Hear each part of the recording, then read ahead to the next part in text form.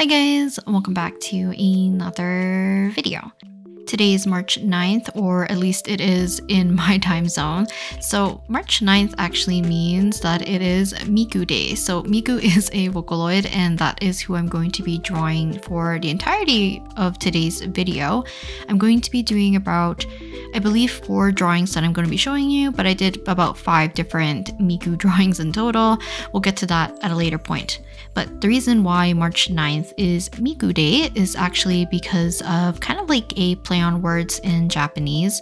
So mi uh, refers to three and ku refers to nine in Japanese. So if you put them together, March 9th as 3 9, it becomes Miku. So it's kind of similar to if you did more of like a play on words for Mario Day, which I believe is on March 10th. So literally tomorrow. So March, if you shorten it to how people abbreviate the word March, is B-M-A-R, so Mar, and then 10 kind of looks like an I and an O, so it becomes Mario Day. So it's just kind of like a fun occasion that some people like to draw or kind of like low-key celebrate for. So I wanted to draw a bunch of Mikus for today. So I believe like for several years, usually actually I don't know who exactly controls the contest, but there's usually like kind of like a design contest for each Snow Miku, and this is the 2024 Snow Miku design, which is probably one of my favorites. I don't remember which is my other favorite, and I used to draw fan art for that one as well. If I can find the file for that one, I will post it here.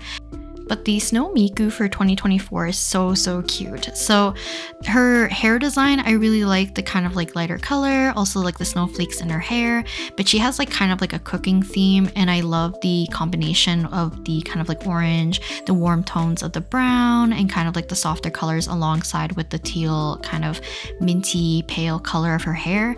And I've already done like a sketchbook spread of this particular Miku, so it's probably a little bit familiar if you've watched that video as well well. So we're gonna start off with just probably one of my favorites. I think the other three. So the next Miku will be one of my all-time favorite Mikus. I have a poster of her in my room as well, done by the lovely Naguri from, I don't remember, I think it's from 2014 um, from Otafest. I got a print and it was signed by Naguri and she's like one of my favorite illustrators of all time. So the other two will be kind of like randomly chosen, but I'll get to talking about why I decided to draw them in a little bit. So it has been a little while since I've done recording of my actual tablet. So I think since the beginning of this year, I've kind of like switched up my kind of drawing setup. So it's been a little bit harder for me to record my tablet screen as of late, and I've been trying to find different ways for me to do so, but I think at this point. I will change the angle at some point as well, but for now, I am not going to be able to show the entirety of the screen. So hopefully I'm going to be putting a smaller version of the drawing in the upper left-hand corner for now, and later on it'll be moved to the bottom left-hand corner so that you can kind of get an overview version of the drawing that I'm drawing currently, just because I think it's a little bit easier to view and I'll definitely do this for like time lapses as well. So like people have something a little more stationary compared to if I'm doing a time lapse on my computer and it goes like by really quickly and it might get a little bit kind of like dizzying for some people. So let's talk about the process. So usually if I'm doing any kind of line work, which I tend to do for my chibis, I like to do it on Clip Studio Paint or Paint Tool SAI, which is why I'm working on my tablet for today. So I did the sketch with the Froggy pencil. Then I went ahead and lowered my sketch and decided to do line work on top. Now I mentioned in previous videos that I like to split my line work into about six different layers. So I have one purely for the skin, one for the eyes, one for the eyebrows, one for the hair, one for the clothing. And if I have any extra things, I can put that on an extra layer but it's just easier for me to keep them on separate layers so that I can change the line work separately compared to the rest of the image. So I can change her line art for her skin areas and it won't kind of like impede with me trying to color in the line work for her hair So already at this point, I've already changed the line work for her skin to be more of a softer, warmer reddish brown. And then her eyes have a combination of kind of like a dark navy blue alongside with a little bit of that pinkish red coming from the skin. And it just makes everything look a little bit more softer, if anything. So it's just something that I like to do to kind of like upkeep with my own organization. I'm also softening the line work for the hair and then we can move on to the clothing. So I do separate things into skin eyes, hair, and clothing when I'm doing coloring. But because I'm kind of like simplifying how I draw my chibis more recently, I've been sticking more or less with soft gradients and more or less just cell shading. Just because if the character has a lot of different colors or I have too much detail, I find that the cel shading style works a little bit better and it reads a little bit more easily on a smaller scale. So I am thinking of doing maybe like a mini series where maybe we'll pick up to I think three characters maybe, and I want to redo all of my Genshin chibis. Maybe I'll like leave them for shorts or something else so that they don't take up a good chunk of my videos because at least maybe I'll say it now. Uh, I think for the next few weeks or the month or so, I am going to focus on doing a lot more ASMR videos again because I kind of miss doing them and I think I'm comfortable in my current setup to return back and film them once again. So I feel like I am going to do that and do as many as I can before it hits kind of like into late spring. So that's kind of my goal for now. I feel like I just put the ASMR videos a little bit on the back burner just because it has been a little bit difficult to record sound recently. So I am going to do just a whole lot of ASMR videos for the next few weeks and hopefully you guys don't mind. But let's talk about the next chibi that I'm going to be working on. So the next one that you can see, hopefully, my reference will be in like the upper left-hand corner, which is the Miku from, I think it's Shinkai Shoujo, which is one of my favorite songs ever since like, I think middle school. And I don't know, I just love the entirety of like the visuals of the song. I like the different uh, cover versions that people have done during like the Utaite kind of days. So I really wanted to take a crack and draw this Miku. So Basically, I also want to potentially look back at my previous artwork when I was a lot younger, so probably like my middle school, early high school days, and draw a bunch of illustrations that I wanted to draw at the time that I couldn't, either due to my lack of skill or because I didn't have the time to or was afraid to make fan art of it. I'll post my old fan arts of Miku's right here that I can dig up. I have a bunch of other ones that I actually don't know where the files are for those pictures or illustrations went, so I'll only put a few on the screen and Shinkai Shoujo Miku is kind of like one of the ones that I've always wanted to do like a full piece kind of illustrated. I don't know why I said it in such a way, but I wanted to do like a full illustration of this particular Miku and I think more recently, especially like in my later 20s so far, I've been really loving the underwater aesthetic, so I think I'm capable of making the illustration that I always wanted to when I was a kid. So I want to tackle that eventually, and potentially any other kind of fan art of Vocaloid songs, or even just like series, like anime series, manga series that I was into as a kid, and just kind of like revisiting them. Because I don't know if I'm in like my nostalgic era or in this weird zone where I'm kind of like reminiscing about what I used to be interested in when I was younger and being very fond about like certain series and I feel like it would be kind of like treating my old self to fan art that I've always wanted to do but I never could do. So it'd be kind of like making my younger self proud of what I can do now. So I think it could be fun to do. So I will see if I can make that into another mini series as well. But I would love to just like work on a bunch of chibis in the future. Oh, if you guys get to like this far into the video, do let me know if you guys would be interested in some kind of like sticker club type of thing. I've always wanted to do something like that. And currently with my shop being closed for at least like the unforeseeable future for now, I feel like I could do just a kind of like sticker mail club kind of thing for the next month or two, or even like a couple of months if you guys are interested in it. And I can just do a bunch of like different chibi themed illustrations and drawings that could be really cute as stickers and stuff. And I want to see if I can make a sticker book as well really quickly or like a sticker journal where you guys can keep like your stickers in a one place with like reusable uh I don't know what they're I don't know what they're called exactly, but they're like these sheets of uh, paper or whatever that has kind of more of a waxy, kind of shiny finish and allows you to peel off stickers and reuse them. So I think it could be fun to do that. So I will plan for that in the future and kind of gauge whether or not you guys are interested in it. And if you guys are, definitely let me know and I will definitely consider it.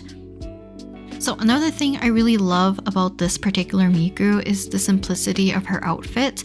So to kind of keep it a little bit more vibrant rather than keeping it kind of more like a stark or very mid-tone kind of bleak looking black. I wanted to add a little bit of a gradient, so I'm adding a little bit of that pink from her skin tone. I'm adding a little bit of blue from potentially her hair color, and then after that I am making a new layer and setting it to multiply to do the shadows. So for all of the chibis in this kind of style that I've been doing more recently is that because I'm doing cel shading and I don't want to fuss around with changing different colors for different parts of like let's say the clothing and the hair and stuff, I've been relying a lot of using multiply and screen. So multiply and screen are different blend modes that you can play with. And I've also added a multiply layer to the entirety of this Miku to make it look like she's underwater. I'm adding a add layer, kind of doing the little patterning of water on top. I basically duplicated the layer so that we can have one that's a little bit more softer and then we have one that's like a glow on top. So it kind of creates it to have more of that water-like effect of the light kind of seeping through the water surface and kind of dappling onto her. I also missed the water droplets, so I'm going to be adding those in. But I think out of all the little chibis, the first three are definitely my favorite, and maybe I was running out of steam when I was working on the fourth one, but you'll see a little bit later on what I'm talking about. But to make sure everything doesn't look too monochromatic with the blue, I did end up adding a overlay layer to kind of brighten up her face a little bit. So on to the next Miku. I am going to be looking at a lot of the different I think it's the Project Voltage collaboration that Miku had with Pokemon. So this has a lot of my current favorite Miku designs just because they're so unique and I love the different color palettes and like the kind of Pokemon companion. So the one that I decided to choose to do for the little chibi because I didn't want to do too many from this particular I guess like project just because I know a lot of people won't be familiar with it. Or I guess like some people don't really have an interest in Pokemon and Vocaloid, so I don't want to merge them together and kind of like alienate even more people. But this one in particular is one of my favorites, and I have painted this one in my sketchbook in the past with gouache but I love the color palette and just like the overall vibe of this particular Miku. So I definitely wanted to give a kind of like a chibi version of her a shot. So I wanted her to be kind of in a floating kind of pose. And I really wanted to tackle the hair and I kind of wished I did more of that glitching of her like her legs and her hair a little bit more. It might have also been because of her pose that I was covering up a lot of her body, but the areas where the glitch kind of happens, like it's like around her thighs and her upper arm, it's hard to see, so I didn't really include it as much as I could have. I'm also throwing in Mismagius or Mismagius into the drawing as well as kind of like a little companion in a much more kind of smaller form. So the other ones that I potentially wanted to do for picking any of the Mikus from the Project Voltage ones was also the flying type one, I believe, which is with Altaria. And that one's just super cute. I love her entire kind of like design because she looks very fluffy, very airy, and kind of like sophisticated. So I really like that one, or not sophisticated, more like chic looking. The other one I wanted to do also is the one with Jirachi. So I think that's one is the steel type version. And then the other one I wanted to do is either water, which is with Primarina? Primarina? I don't really remember the starter's name.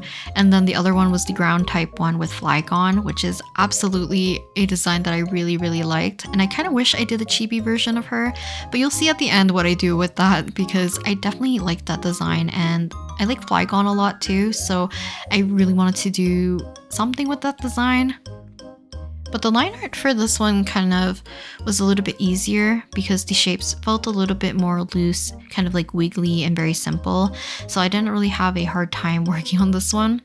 Also, uh, oftentimes if I have characters who have like hair hanging in front of their face, so let's say in front of their eyes or their eyebrows, I will also just like section off those portions and lighten it up with the airbrush so that they kind of appear more translucent. And you'll see see like when I'm doing the coloring, it kind of appears that way and the eyes don't seem like they're sitting on top of the hair. The eyebrows doesn't seem like it's on top of the hair. So hopefully it reads a little bit more better than just having those blatantly on top of bangs that have no transparency, I guess, or has too much transparency. So yeah, it's just something I really like doing before I do the coloring, if I can, just because when I'm filling with the bucket tool, sometimes I miss those areas because they are solidly filled in. So for her skin tone, I made her a lot more pale. I also leaned it very kind of like a cooler pink and towards purple, just because she kind of has more of that cooler toned vibe rather than having very warm kind of like orangey or peachy tones in her skin tone. After that, I decided to do the eyes a little bit differently. So the thing about doing fan art sometimes I like to find kind of like a middle ground between my style versus the style that the uh, character is actually in. So I kind of compromised by making the ring the same as the current Miku, but because all, all my Miku little chibis or just like my chibis in general for the current style that I'm working in, I like having a gigantic white highlight in the very middle of their iris. So for this one to make sense, I did the same thing with just the ring around it and I did a little highlight in the very center. And I think that reads a little bit more clearly than if I did it the normal style that I did the other Mikus in. Also, I kept the shading for this one very simple, so there's not a lot of like hair highlights other than this little kind of flower pattern on the top of her head, which I made more of a glowing pattern. I also added the multiply layer to her skin, her eyes, and her hair on separate layers so that we could add kind of like that band of darkness that kind of sits on the very top of her, which I actually really like how some people do this for like stylistically giving them kind of like that aura or that vibe that seems very dark. So it's kind of fun to add as well to the little chibi version. So if you're also a fan of like Vocaloid or even like Miku just in general, do let me know what your favorite either song is or your favorite version of Miku or outfit or whatever. Because Miku has a lot of projects and I know a lot of you guys play, uh, I think it's Project Sekai so colorful stage so there's a lot of vocaloid in that as well because i believe there's miku there's rin and Len then there's, I think, Kaito and Meiko in there as well. Maybe Luka? I think Luka might be in there as well. But, oh, wait. Oh, okay, maybe I won't spoil it. There is a Megurine Luka song that I really want to do fan art for because it was my all-time favorite song as a kid or like in my middle school days. So I'll definitely make some kind of video for that, either traditionally or ASMR digitally something. I don't know what yet, but I definitely want to do something for it. So moving along to the last Chibi Miku. So I actually don't know exactly what this design is for other than for Miku Day, I believe, because I just opened up Twitter, I think a couple of days ago, and I saw the the designer or the illustrator for this particular Miku post about this and I thought this design was so cute. I kind of wish I didn't butcher it that badly when I drew it in the chibi version, but I love this Miku's like color scheme. It's kind of like brighter and lighter, and I like the kind of gradation from her hair being teal to kind of like that yellow, but the way the color kind of bridges in between has like a very nice kind of like pale lime green color, which looks super cute. I didn't include her bag just because I found at least in my chibi version, it felt a little bit too busy. I also ended up changing her arm just because it didn't really make any sense and it felt very unbalanced in a way. So yeah, I don't know. This, this Miku in particular, not the design, but like the way how I drew the chibi version is definitely not my favorite out of the four that I ended up doing. But in the future, I am going to do the other Mikus just because I would like to match the ghost one with the rest of them or the rest of them with the ghost version. And i think it'll look very cute as a little like miku set or something. And it'll kind of give me an excuse to draw more pokemon stuff because i still have pokemon on the brain for the most part for the rest of this month probably so while I'm doing the line art, I'm trying to think of what else was I supposed to update you guys on in terms of video stuff. Oh, thank you guys for submitting the plethora of characters that you listed on the community post for me to draw for the six character challenge. I'm going to post another thing for you guys to suggest like ideas just because I want to do another OC scenario uh, prompt thing. But I want you guys to be able to submit your prompts and put my OCs in any scenarios that you want, and I'll pick a few to draw from. I think it might be fun to do it comic styled or something like that, of that sort. So yeah, I'll maybe do a few just because I did introduce Kaisen, uh, Riko, and I guess like Selwyn as well, but Selwyn isn't really part of like Masaki's uh, universe, so I'm not sure if I'm going to include him. I'll make a post about it, and you guys can give me suggestions on OC kind of scenarios for me to illustrate or do like a mini comic of, because I think it'll be good practice and kind of fun to let you guys decide what I can draw because I tend to stick with like similar themes, so it'd be nice to see kind of like a difference or variation on how the characters can react that's not like biased from myself, I guess. So oftentimes when I'm doing the shadings with like the multiply layer, if there is a gradation, sometimes the gradation doesn't work for the entirety of her hair. So for me, I decided to change the gradation instead of from like a light purple, I changed it to a light pink for the multiply layer just because the pink reads a little bit more vibrant on the yellow and the pink doesn't read too poorly on the green or the kind of base minty portion of her hair. But the purple made the yellow look really dull, and it's probably because it is like complementary colors. So definitely play around with the colors you choose, especially if you're working with like a multiply layer or any blend mode layers, because sometimes there is a better option out there, and it's fun to play around to see what kind of colors work best with your color selection. Similar to here, so instead of the kind of like dark purpley blue that I had initially, I changed it to pink, which I think fit a little bit better with her overall color palette alongside with the kind of shading of her hair as well, which is very pink and kind of brightly forward compared to if I were to use kind of like a dull purple for the multiply layer, which might make everything look a little bit more like grayish and kind of desaturated in a way. Because of her outfit being so light and there's a lot of white, I didn't end up adding too much of like a screen layer for highlights, but I think that is it for the four little chibis of Miku. So we have Snow Miku from 2024. We have Shinkai Shoujo Miku. We have the, I don't know what this is from. I'm going to say Miku Day Miku. And then we have the ghost type Miku. And I put white borders around all of them as well. I'll do a small little close up for you guys of each of them. And then we'll move on to the mysterious fifth drawing, I guess.